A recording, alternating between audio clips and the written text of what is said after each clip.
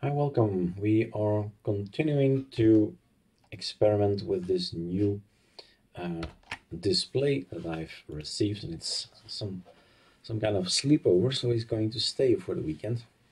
And this is an LG 34 inches, and I wondered how Oracle would look in this. So if we have VirtualBox, and I loaded up the last uh, ISO that we've built on ArcoLinux, 19.02, so February release, fourth, uh, fourth version, 024. And VirtualBox kicks in quite um, immediately actually. He finds out that this resolution is not my standard 1920 and 1080, but what was it again? 2560, I believe, on 1080. That's the resolution of this screen. It's a widescreen from the company LG. Do not remember the code name, but you can find it on YouTube videos. So as you can see, it's a full-fledged screen. Well, my VirtualBox really realizes this. This is my resolution, 2560 on 1080, which makes a beautiful setup to starting in a live environment. For the rest, it's going to be the same. You choose your language, of course. I've added some thing, things in here because some of um, YouTubers or people in general do not know that Arco also contains XFC OpenBox and i3 they put into XFC and stay there. So the graphical representation of the Earth, so the time zones, you select them here, select them there, or you just click, or if in luck, if this website is online, then you get the information from the website and then this um, happens. So indeed, I'm from Belgium, and then you can set the system language if you want to change it here or here. And then we're up to our keyboard. Being from Belgium, I need my AZERTY keyboard, otherwise I'm in trouble. And then you decide if you want to install alongside, and you say, okay, I want to install, so split this partition into two partitions or replace a partition. So this partition replace, or what I always do, is just erase everything and let him decide how much swap there is. Future will tell, but there are things happening in Calamares, so we'll have soon enough a new Calamares.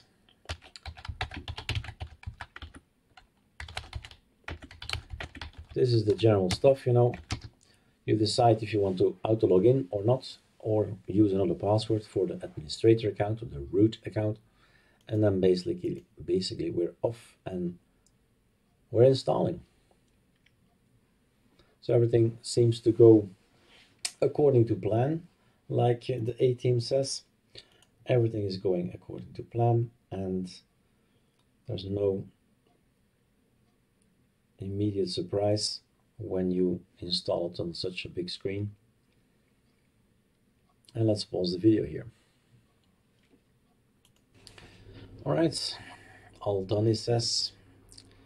Restarting now.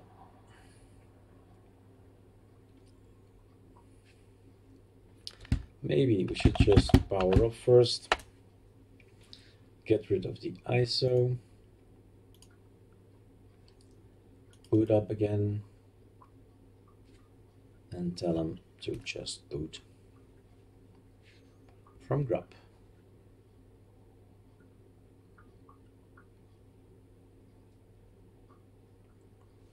So, ArcoLinux in VirtualBox on a widescreen. There are some remarks I have. The circle seems circle slim a little bit. I'm looking for the proper English word, but not quite circular. So I don't know why that is. We can always make it bigger it only becomes more apparent that it's not a smooth line.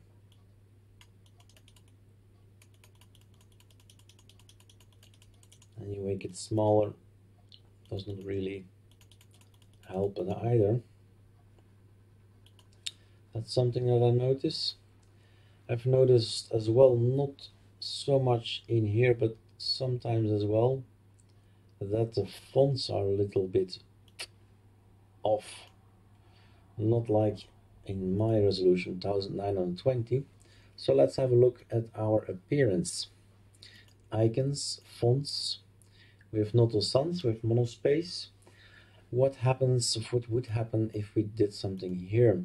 Is we say okay let's go for medium. Our slight or medium or even full. Does that improve our fonts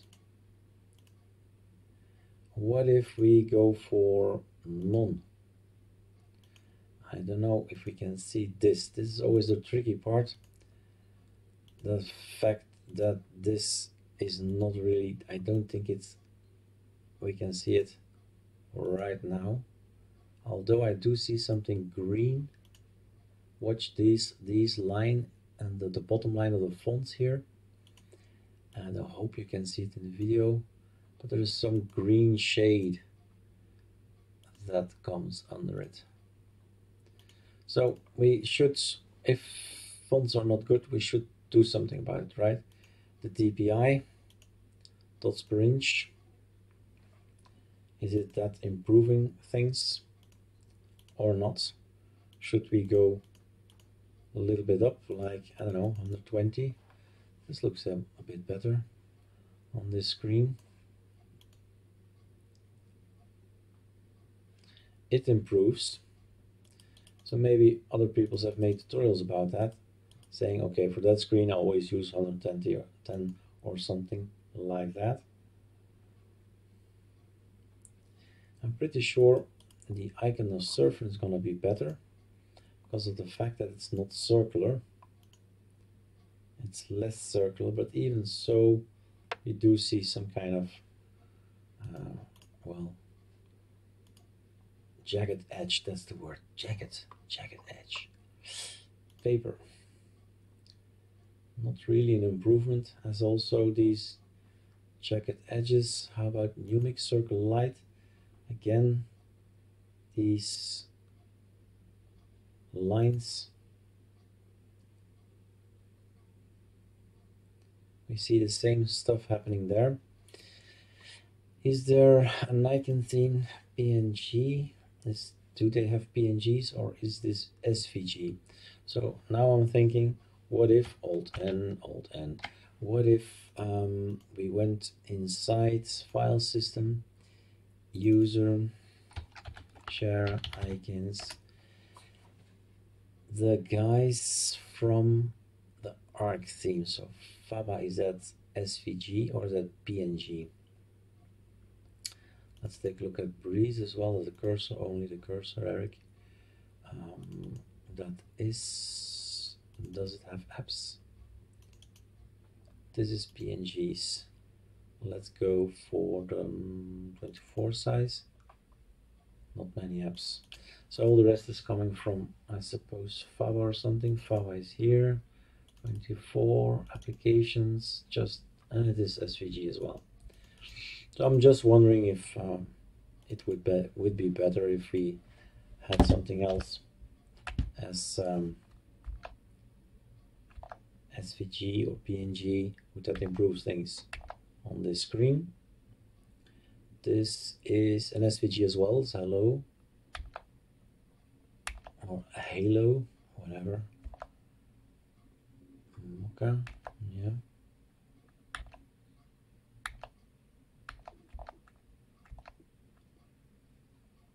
Paper looks okay. Maybe the best of the icons yet on this resolution but here you see as well this jagged edge. As long as you don't have curves no circular elements then it's pretty good. But once you get this uh, circle there's another one here JPEG once it's uh, round then you have um, in this resolution anyway on this screen in this distro you have jagged edges.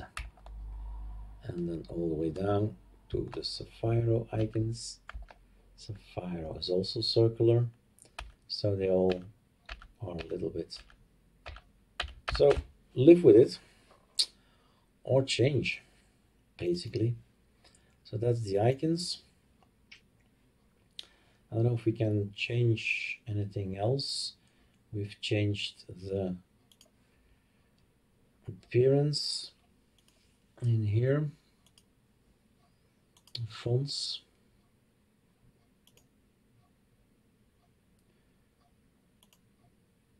It is an improvement, right? Or this, or that. You want it, don't want it.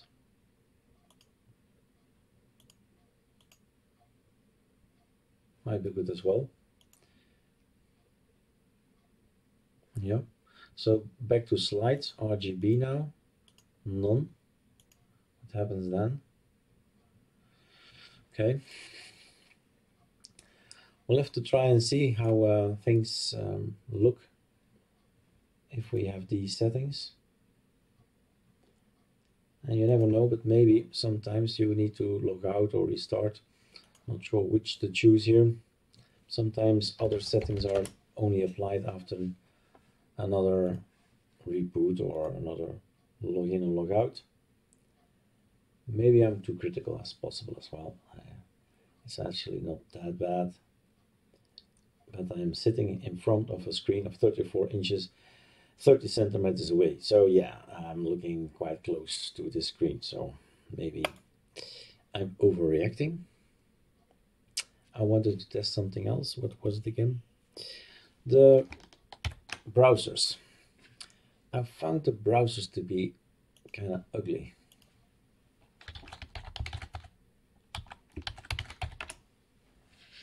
And let's Google as well. Or this. So these these fonts are all jagged as well. And does this happen here as well? Well, a little bit.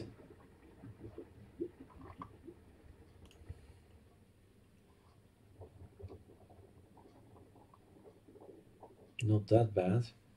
So I was wondering, are there any settings in here? So preferences, can we do something about fonts and all that? Default fonts is Droid Serif.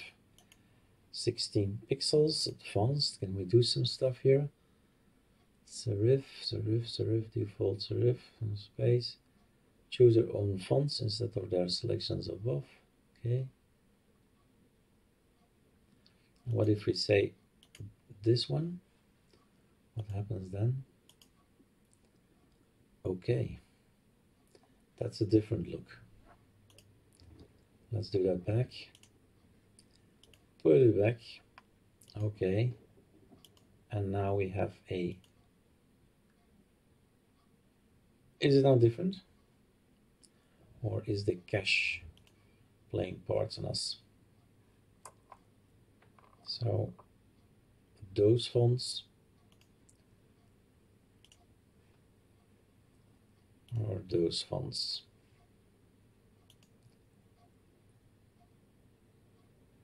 I'm seeing all blurry now. Is it changed? Is it different? I'm not sure. It seems like it.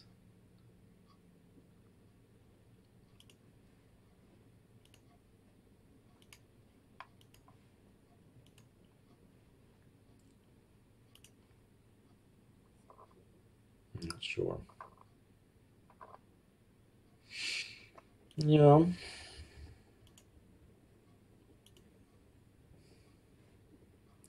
Anything else here about fonts and all that?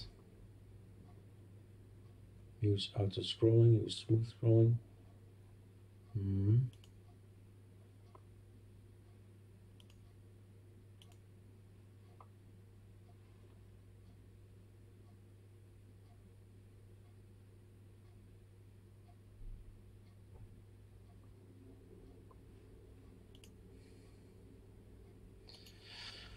All right, I guess I've looked at it. And does Vivaldi have something similar?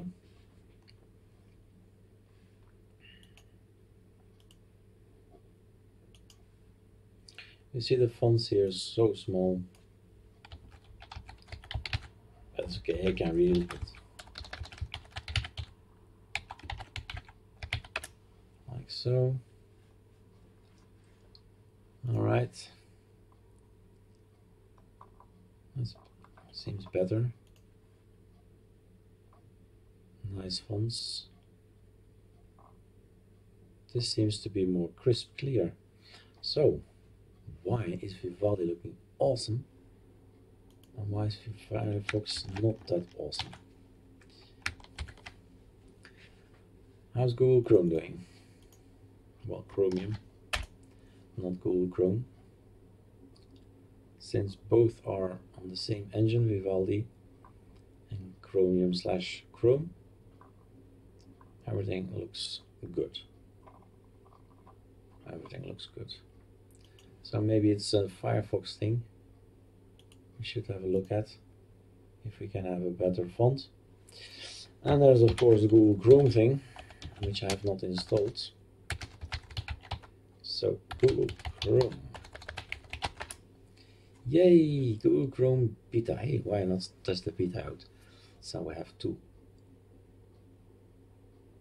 The Chrome dev. That's the last number. Let's go for the Chrome development. Unstable one. It's a dangerous word. Unstable. You're downloading an unstable browser. It's just a beta version, guys. Compressing the package.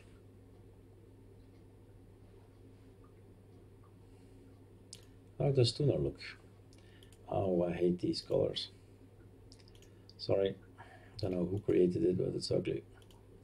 So, the Mint X from three years ago. Let's go for a Surfn Papyrus Blue.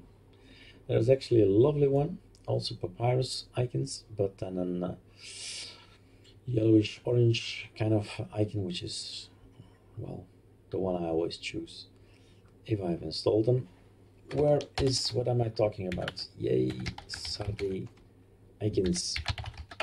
I've just did an update, not just for the Sardi icons, but if you say then let's get the Sardi icons, then you see there are more Sardis in the world than you thought. There are 19 packages out there, 19 numbers you can install. And what I'm talking about is Good question. It's gonna be the mono. Those are the vari variations. I think it's gonna be papyrus. Sardi monopapyrus. Let's have a look and see if I can find them. Come to Papa. Oops.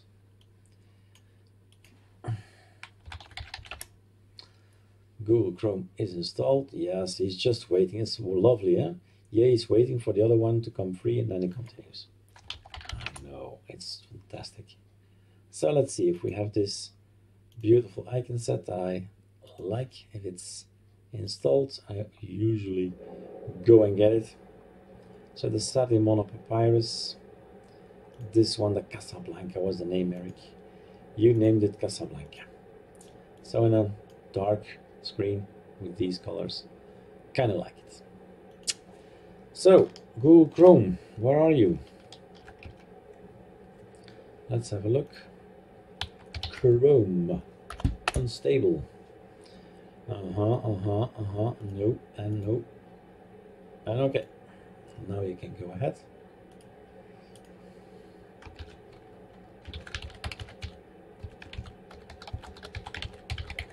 And let's have a look. Mm-hmm, mm-hmm, mm-hmm. What's Alkalex? Fonts are okay.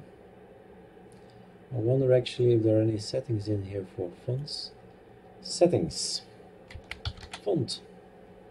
GTK theme, show the button, I like this one, I like that one as well. Use system title bar and borders, what's that? We'll see soon enough. And here's the font size, medium recommended. If we take large, we get that, that's a bit too much and the page zoom. You can always do something about the page zoom. But we can also set the font minimum font size. Well that's that's too small. Okay that's my minimum font size. I can still read this. A little bit more. Maybe this changes everything I don't know. Let's go to download. Not really. Everything looks quite normal. Still. Standard fonts we could go to Noto Sans Regular. That's the one we use all the time. Question is, is it with R or just Noto Sans? I think it's just Noto Sans. Standard font. Sans serif font. Fixed width. I do believe we have a Droid, for instance, Droid Sans Mono.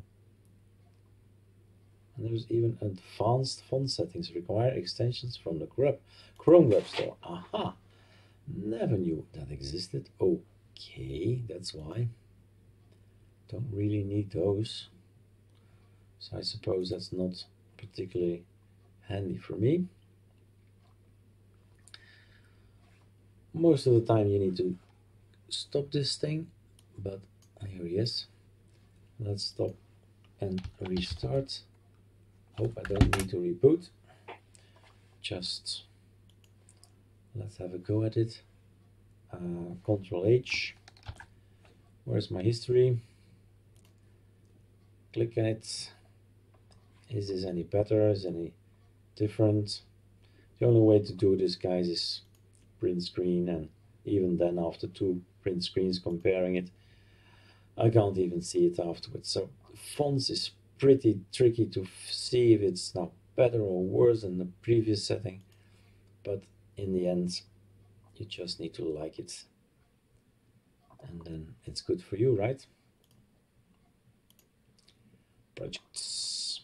Lots of stuff. All right videos long enough. This is just a test test run on virtualbox and installing some stuff changing some stuff some stuff and finding out if um, well how it works on this widescreen of 34 inch. All right. Cheers